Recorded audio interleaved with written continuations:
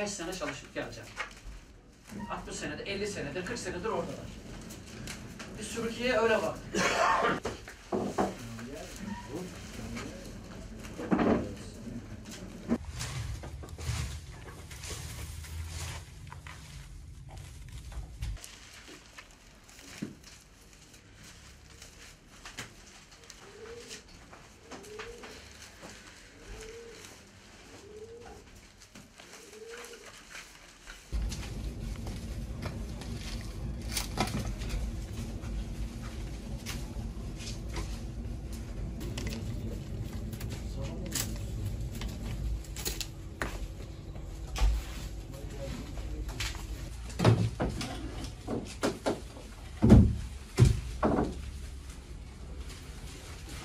Şu işe şeyden başladık, çıraklıktan başladık. Abilerimizin yanında, babamızın yanında. Tamam mı?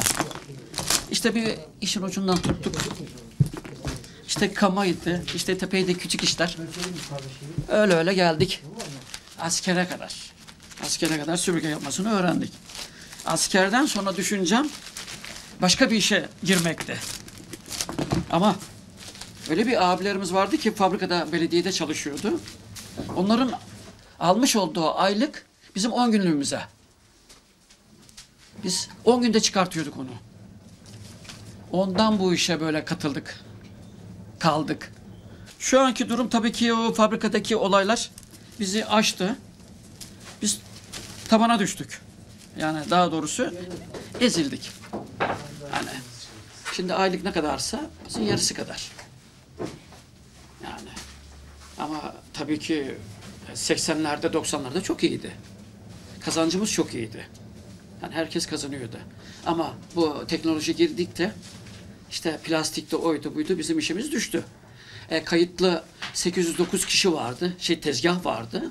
Şimdi Nur abi 50 var mı 50? 55. 55 tezgaha düştü. Talep var. Şu durumda istediğin kadar çıkart. Ama eskiden böyle değildi. Yani eskiden dediysem yani 5-10 sene bazen kötü zamanlar olurdu. Mesela 10-15 gün yatardık. Hani bir bollasın diye, istek olsun diye. Ama şimdi inan bana gidiyor yani. İstek var.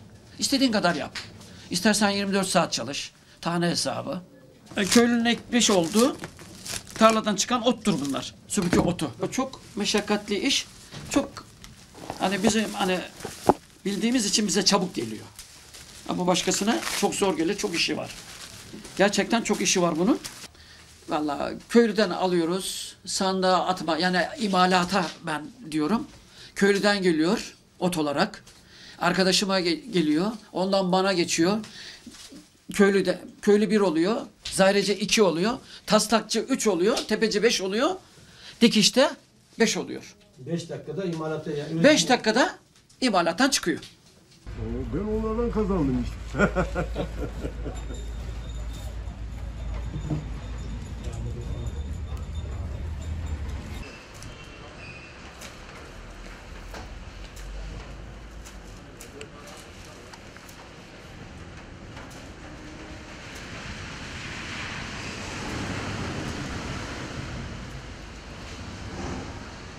...68 yaşındayım.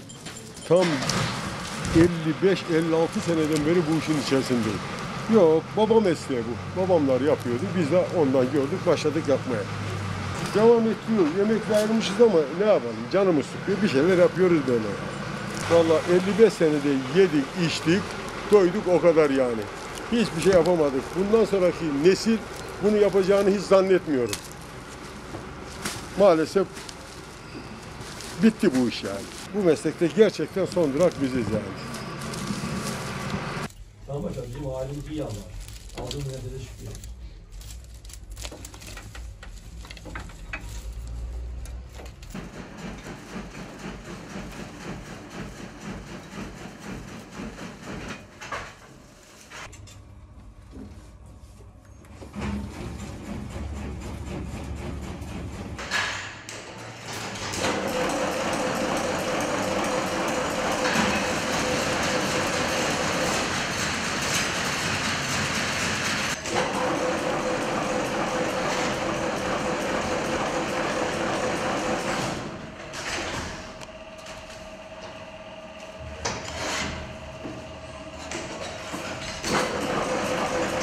E işte biz de bu işe girdik. Artık yaş oldu 60. Bizden gerisi pek nadir. Biz de elimizden geldiği kadar işte talepleri karşılamak için mücadele ediyoruz. Bir ara 900 esnafımız vardı. Deprem sonu 200-250'ye düştük ama şu son 5 6 senedir 50-60 esnafa düştük. E tabi bu e, teknolojinin Türkiye'de girmesi, el süpürgesi, plastik sektörünün girmesine kaynaklı. E, e, böyle bu mesleğe devam ettirmeye uğraşıyoruz. Bizde e, yapılan adete göre, taneye göre yövmiye verilir. Yani e, tanesi 1 lira olsa 100 adet yapar, 100 lira alır. E, bugün e, sabah 8'de gelir, akşam 8-9 o aralar uğraşır.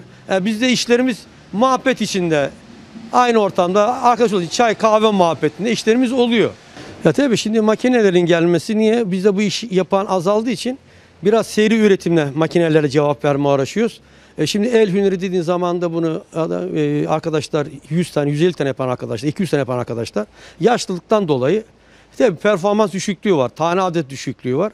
E, talep olduğu zaman bu makinelere yükleniyoruz.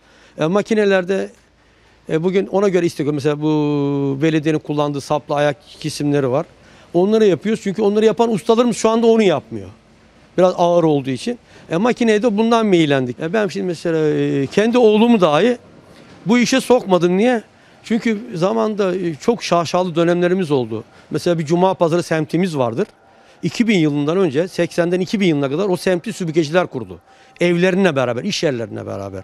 Ama teknolojiye karşı yenik düştükçe e, çocuk da bakıyor ya baba diyor sen sabah 7'de gidiyorsun, akşam 9'da geliyorsun. E, 6 ay diyor, iyi geçiyoruz 6 ay diyor, ona buna bakıyoruz deyince e, tabii ki çocuk bu işten soğuyor biraz. Ama gene de tozuna bereket diyoruz. E, şimdi bunun nesli tükenmez. Talep olduğu müddetçe mesela makineleşir. Bu el biter, bu makineler çoğalır. Az e, güç harcamakla gene imalat olur. Ama bazı kesimlerimiz var makine süpürgesini annesinden görmüş el yapımı süpürgeyi onu istiyor. Makine süpürgesini pek istemiyor. Ama zamanla el yapımı süpürge yapılmadığı müddetçe e, makine süpürge talep artacak. Olur yani bu temizlik olduğu müddetçe bu Türkiye'de olacak. Biz şu anda dünyada nereye girirseniz girin Sakarya üzerine süpürge tek numaradır. Bunun yurt dışından ithal gelişi de buraya toplanır. Yurt dışına çıkan süpürge de buradan pazarlanır. Yani aracılar vardı yurt dışı pazarlamacılar temizlik ürünleri talebini alırlar temizlik ünitesi gelirler buraya ararlar bakarlar. Ya yurt dışına da gönderiyoruz.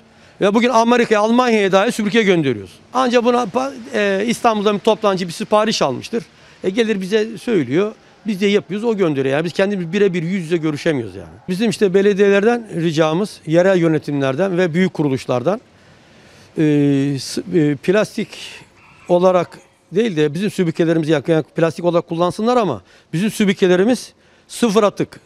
Yani doğaya çabuk karışabilen, toprağa çabuk karışabilen bir cins. Biz istiyoruz ki bizi sübükelerimizi kullansınlar. Hem ekonomiye katkılar olsun hem doğaya katkılar olsun. Ricamız. Bizden yardımlarımız. Bir de belediyelerimizin işte bizden gelip ihtiyaçlarını bizden karşılamalarını şey yapıyoruz, istiyoruz. Türkiye'de bir Edirne vardı. Onlar azaldı. Sektör olarak, sanayi olarak bir bizim Adapazarı. Diğer illerde sezonluk yaparlar. Ondan sonra 4 ay yapar, 8 ay yapmaz.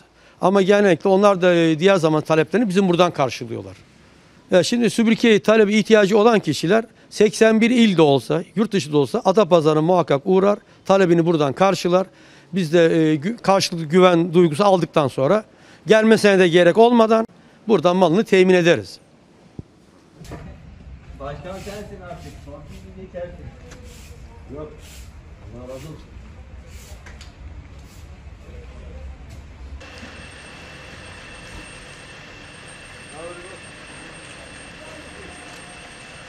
Ne oldu?